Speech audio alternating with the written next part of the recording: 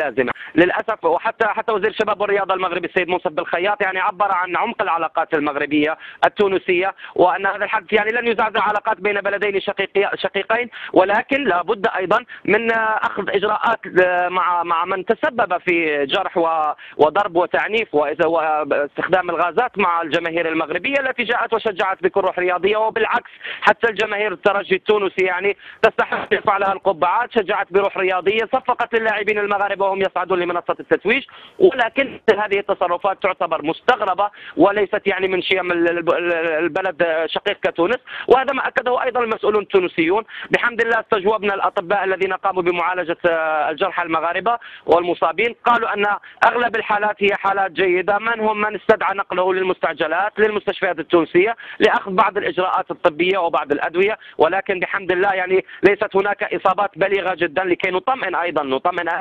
الجماهير التي حضرت إلى هنا إلى تونس.